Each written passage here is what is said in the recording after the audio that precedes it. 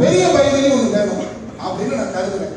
ரெண்டாவது விஷயம். முதல் விஷயம் ஒரு இருபது பெர்சென்ட் குரூப் வஜ்ரால ஏதோ புது பிளான் வந்திருக்காங்க பாப்பா எனக்கு ஒரு ஐடியா போடு இப்பவே இரநூறு ஐடி புக் பண்ணி வச்சிருக்காங்க.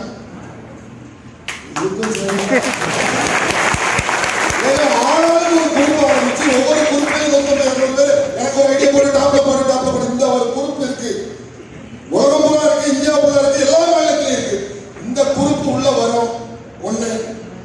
ரெண்டாவது ஆப்ஷன் வந்து பாத்தீங்கன்னா உங்களுக்கு ஒரு பெரிய பைனரி கையில் இருக்குங்கிற ஒரு தில்லு நிறைய பேர் மேட்ச் ஆகுது. இன்னொரு விஷயம் வந்து என்னன்னு பாத்தீங்கன்னா எப்போதுமே பரபரப்பாவே இருக்கணும். எப்போதுமே பரபரப்பா இருக்கணும் ஏதோ புதிய விஷயங்களை புகுந்துக்கிட்டே இருக்கணும். அப்படி புகுந்துன்றதுடைய ஒரு விளைவு இந்த ஆறாயிரம் ரூபாய் பைனரி அப்படின்னா ஐயாயிரத்தி தொள்ளாயிரத்தி தொண்ணூத்தி ஒன்பது ஏன்னா நம்ம பப்ளிக்ல போறோம்? ஆறாயிரம் ரூபாய் ஆறாயிரம் ரூபாய் இல்ல ஐயாயிரத்தி தொள்ளாயிரத்தி ஐயாயிரத்தி தொள்ளாயிரத்தி தொண்ணூத்தி ஒன்பது கிட்டு. Kings queens. ஒரு ஃபேமிலி பேக் அல்லது ரெண்டு கிங்ஸு. அல்லது ரெண்டு குயின்ஸு. அல்லது ரெண்டு ஐம்பது கிராம் செப்சி அல்லது ஒரு கிங்ஸு ஒரு ஐம்பது கிராம் செப்சி அல்லது ஒரு குயின்ஸு ஐம்பது கிராம். எப்படி வேணாலும் நீங்கள் மிக்சியில் எடுத்துக்கலாம். பேக்கேஜ் ஒரு ஆறு பேக்கேஜ் ஆயிரம் ரூபாய் பேர் கமிஷனு இது டெய்லி கட் ஆஃப் கிடையாது. அதனால நிறைய லீடருக்கு ப்ளஸ் அவுட் ஆயிருக்கு வீக்லி கட் ஆஃப் வீக்லி ஒரு லட்சம் ரூபாய் செய்யும் ஒரு ஐடி. ஒன்றாயிரத்தி நூறு பேர் வரை நீங்க மேட்ச் பண்ணிக்கலாம் பவர் லெட்டு கேரி ஃபார்வர்டு வேற என்ன புதுமையை கொண்டு வந்திருக்கோம்னா இப்ப நம்ம இருக்கிற பயணியில பணம் கட்டி பின்வாங்க ஐடி போட முடியும். வரக்கூடிய பயணிகள் என் ஐடியா போடு. பதினஞ்சு நாள் ஒர்க் பண்ணு. பதினஞ்சாவது நாள் கூட நீ ஆக்டிவேஷன் கொடுக்க நிறைய எனக்கு ஒரு ஐடியா போட்டு கொடுத்தா நான் உனக்கு ஆம்புலையே உனக்கு உனக்கு கஸ்டடியில் கொண்டு வந்துருவோம்மா இதை நம்பி நம்ம மூவாயிரத்தை போட்டு அவனுக்கு பணம் மணி வச்சிருப்பான் அதை வாங்க திங்ஸியை வாங்குறதோட சரி ஏதோ குயினை கூட்டு போயிடுவான். வரவே முக்கியத்துக்கு சாபக்கு ஐடியா போட்டு கொடுத்தா அவனை கொல்ல போறன்னு அர்த்தம். அல்லது அவனோட இது நடக்கு இது அப்படி இல்லை அப்படியாப்பா உனக்கு ஒரு ஐடியா போட்டுருக்காருன்னு சொல்லி ஒரு பத்து நாளைக்குள்ள பேர் வச்சு பண்ணுன்னு சொன்னா உண்மையிலேயே ஒர்க் பண்றவன் வாழ்வான் டீம் ஸ்ட்ரக்சர் இப்பவே போட்டு வைக்கலாம் பதினஞ்சு நாளைக்குள்ள ஆக்டிவேஷன் டைம் ஒண்ணு.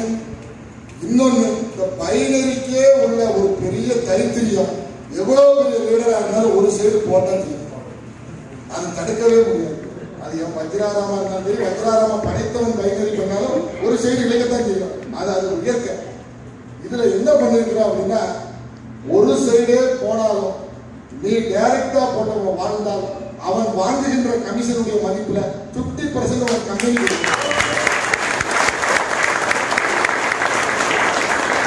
for example Vajraram ID போட்டிருக்காரு ஐடி போட்டு சார்ஜ் தம்பி வாங்க அப்படின்னு ஏ போட்டேன் டீ போடல. டீ போடுறதுக்குள்ள வேற கான்செப்ட் தான் என்ன கூட்டு போயிட்டான். ஃபார் எக்ஸாம்பிள் எக்ஸாம்பிள் கூட சொல்லக்கூடாது. என்ன?